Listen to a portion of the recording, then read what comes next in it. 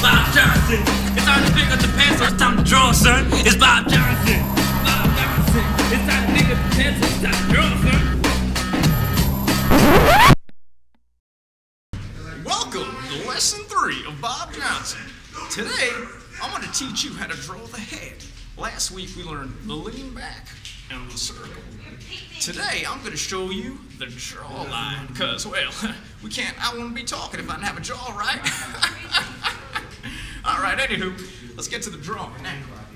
What we're going to do here is draw. I want to keep, you know, round, round forms. They work. They tend to work the best, because, you know, that's how we draw now.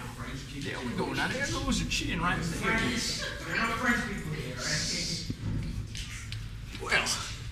I hope you learned a lot today, and I'll see you next week.